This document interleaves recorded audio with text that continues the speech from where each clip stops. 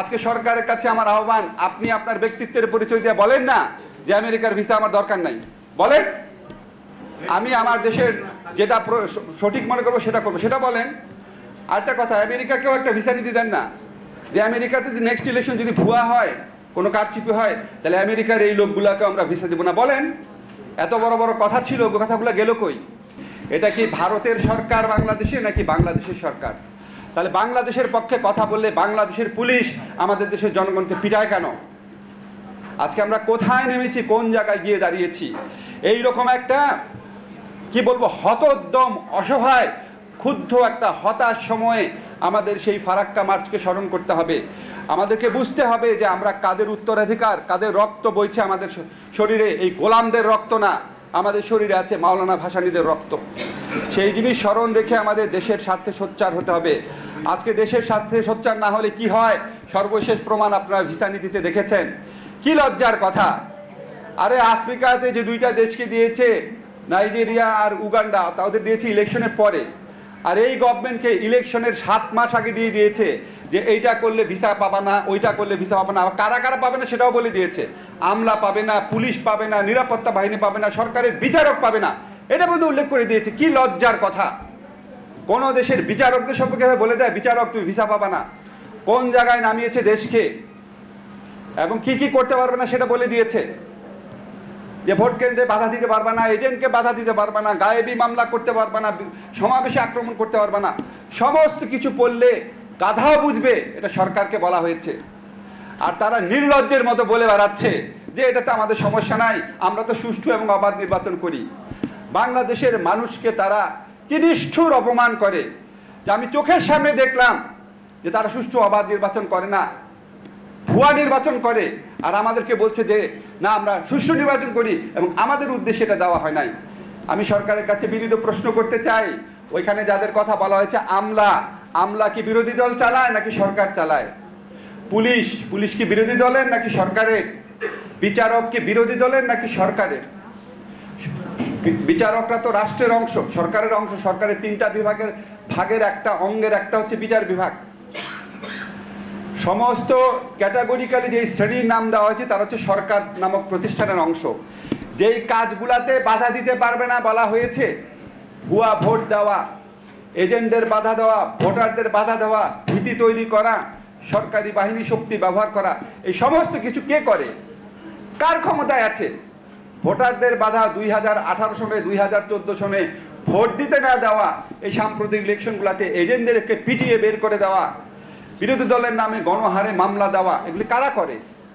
তো আমাকে উদ্দেশ্য করে কি লজ্জার কথা, সরকারকে উদ্দেশ্য করে সকলভাবে এই মেসেজটা ক্লিয়ার সরকারের কাছে, যে তোমরা অতীতে যা করেছ, সেরকম করলে তোমরা ভিসা পাবে না, তোমাদের সন্তানরা ভিসা পাবে না। আর সেটাই আমি বলছি যে না, এটা আমার প্রতি না, আমার প্রতি না।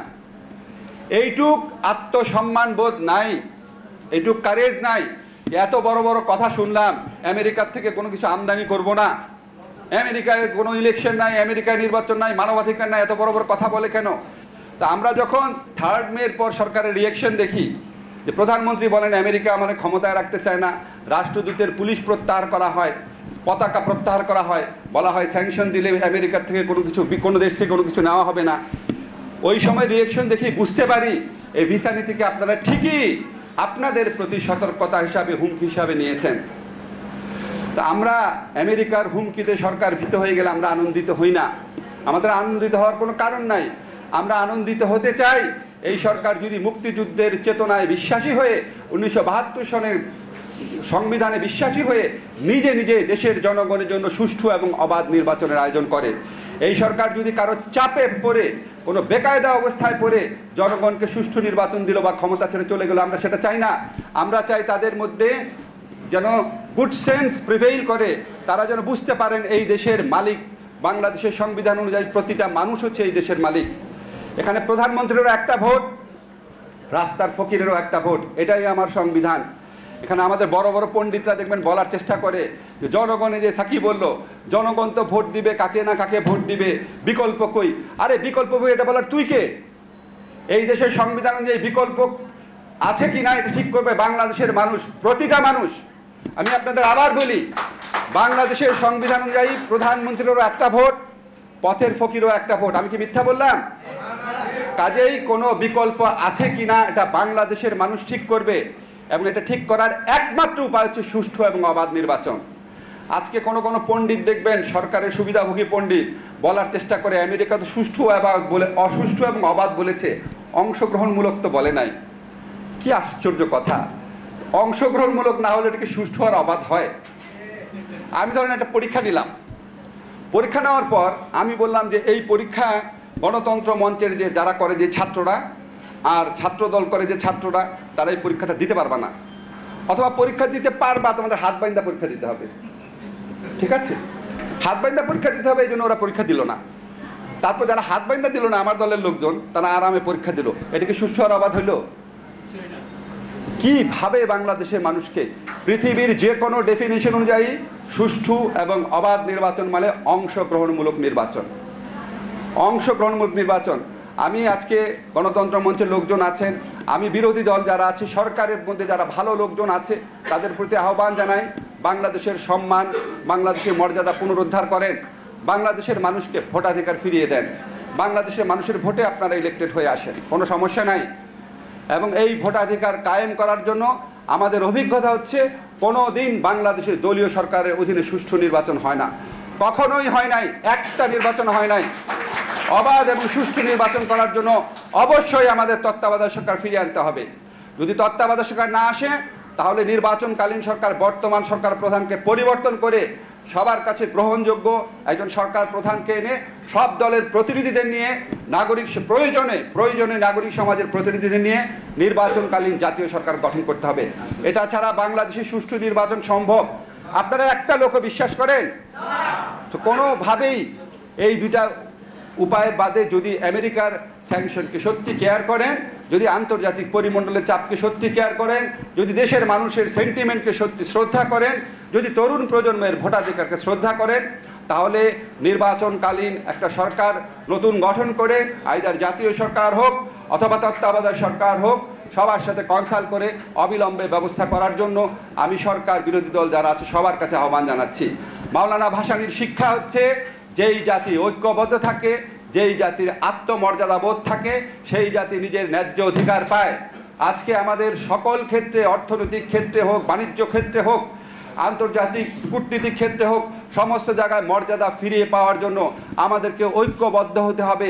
নিজের আত্মনির্ভরশীল হতে হবে, নিজের ভাগ্য নিজে করতে হবে এবং এটা শুধুমাত্র সুষ্ঠু এবং অবাধ নির্বাচনের মাধ্যমেই এই প্রক্রিয়া শুরু করা সম্ভব। কারণ আমরা যে নাইনটিন নাইনটি সিক্সের গঙ্গা চুক্তি করেছি, যেটা আমাদের সরকার, আমাদের প্রধানমন্ত্রী, আমাদের ক্ষমতাসীন রাজনৈতিক দল অত্যন্ত গর্ব করে বলে। ওই গঙ্গা চুক্তি অনুযায়ী আমরা মোটামুটি পাঁচ হাজার কিউসেক পানি পাই আরও কমও পাই। এবং গঙ্গা চুক্তি অনুযায়ী যদি বাংলাদেশ এক হাজার কিউসেক পানিও পায় শুষ্ক মৌসুমে বাংলাদেশের প্রতিবাদ জানানোর কোনো স্কোপ নাই, কোনো সুযোগ নাই। কারণ গঙ্গা চুক্তিতে বলা হয়েছে যে উত্তরপ্রদেশ, বিহার, পশ্চিমবঙ্গ সমস্ত জায়গা দিয়ে গঙ্গা নদী প্রবাহিত হওয়ার পর ফারাক্কা পয়েন্টে যে অবশিষ্ট পানি থাকবে, সেই অবশিষ্ট পানি বাংলাদেশ আর পশ্চিমবঙ্গ ভাগ করে নেবে। অবশিষ্ট পানি রিমেইনিং ফ্লো তার মানে সমস্ত ভারতব্যাপী ওরা যদি পানি উইথড্র করার পর গঙ্গা নদীর শেষাংশে যদি দুই হাজার কিউসেক পানি থাকে, তাহলে বাংলাদেশ এক হাজার কিউসেক পানি পাবে। এটা হচ্ছে গঙ্গা চুক্তি। এই চুক্তি করার পর কত বড় বড় কথা বলে বাংলাদেশের ট্রানজিট সুবিধা দিয়ে দেওয়া হয়েছে। বাংলাদেশের বাজার ভারতীয়দের দখলে দেওয়া হয়েছে। বাংলাদেশে ভারতীয়রা চাকরি করছে বিনা বাধায়, বিনা শুল্কে মানে বিনা অনুমতিতে, এরকম অভিযোগও রয়েছে। আমাদের সমস্ত ইলেকশন প্রসেসে তারা আমাদের সমস্ত প্রশাসনিক প্রসেসে তারা ইন্টারফেয়ার করছে। আমরা আদানির সাথে চুক্তি করছি। আমি আপনি তিন গুণ, চার গুণ বেশি বিদ্যুৎ বিল দিব। আদানি যেন সেই ভোগ করতে পারে এবং আদানিকে সামনে রেখে মোদী সরকার ভোগ করতে পারে, সেই ধরনের চুক্তি করেছি। সমস্ত কিছু দিয়ে দিয়েছি। এক থেকে পাঁচ হাজার কিউসেক পানির জন্য। আর মাওলানা ভাসানি উনিশশো সাতাত্তর সনে সেটা আদায় করেছিলেন পঁয়ত্রিশ হাজার কিউসেক পানি। এবং কোনো কিছু দেশের স্বার্থকে জলাঞ্জলি না দিয়ে উনিশশো সাতাত্তর সনে আপনাদের সবার জানা আছে, বাংলাদেশের সাথে ভারত একটা চুক্তি করতে বাধ্য হয়েছিল, যেখানে বলা হয়েছিল পঁয়ত্রিশ হাজার কিউসেক, চৌত্রিশ হাজার পাঁচশো মানে পঁয়ত্রিশ হাজার কিউসেক পানি বাংলাদেশ পাবে। গঙ্গা নদীর পানি পশ্চিমবঙ্গ কি নিল, বিহার কি নিল, উত্তরপ্রদেশ কি নিল, এটা বাংলাদেশের দেখার বিষয় না। এটা আন্তর্জাতিক নদী, বাংলাদেশকে পঁয়ত্রিশ হাজার কিউসেক পানি দিতে হবে। এই মর্মে ভারতের সাথে আমাদের চুক্তি হয়েছিল। এই চুক্তিটা যে সম্ভব হয়েছিল, তার পিছনে দুইটা বড় ঘটনা ছিল। একটা হচ্ছে জিয়াউর রহমান সরকার ওই বিষয়টা সাধারণ পরিষদে তুলেছিলেন কমপ্লেইন করেছিলেন স্পেশাল পলিটিক্যাল কমিটিতে আলোচনা করেছিলেন। সেখানে একটা কনসেনসাস এগ্রিমেন্ট করতে ভারতকে বাধ্য করেছিলেন।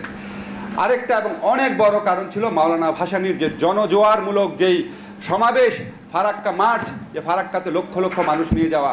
আমি আর সাকি আপনারা দেখছিলেন, আমরা ছবি তুলছিলাম। কত বড় সমাবেশ ওই সময়ে। একজন অসুস্থ বয়োবৃদ্ধ নেতা এত দূর পথ পাড়ি দিয়ে দেশের স্বার্থে আজকে এত বড় একটা ফারাক্কা মার্চ করতে পেরেছিলেন। ফারাক্কা মার্চের কারণে আমরা সাতাত্তর সনে এগ্রিমেন্ট পেয়েছি। এটা শুধু ওই সময়ের ঘটনা না, এই ঘটনার মধ্যে অনেক বড় একটা তাৎপর্য আছে, যেই জন্য আজকে বাবলু ভাইরা এই প্রোগ্রামটা বারবার করে। এই ঘটনার মধ্যে তাৎপর্য হচ্ছে একটা আত্মমর্যাদাশীল জাতি যদি ঐক্যবদ্ধ থাকে, যদি নিজের ভয়েসে কথা করতে পারে, যদি সরকার তাদেরকে বাধা না দেয়, তাহলে তারা বড় প্রতিবেশীর কাছ থেকেও নিজের ন্যায্য হিস্সা আদায় করে নিতে পারে, নিজের দেশের মর্যাদা রক্ষা করতে পারে, স্বার্থ রক্ষা করতে পারে, সেটার সবচেয়ে বড় প্রমাণ হচ্ছে ফারাক্কা মার্চের সাফল্য। আজকে আমরা সেই মর্যাদা হারিয়ে ফেলতে বসেছি। আপনার কি মনে হয় আজকে যদি সাকিরা একটা তিস্তা মার্চ করে, এই তিস্তা মার্চ এই গভর্নমেন্ট করতে দিবে? দিবে মনে হয় আপনাদের? রামপাল চুক্তি বাতিলের দাবিতে তিরিশ পঁয়ত্রিশ জন একটা বাম সংগঠনের তিরিশ পঁয়ত্রিশ জন নেতাকর্মী মিলে মিছিল করেছিল, সেখানে পুলিশ অ্যাটাক করেছে।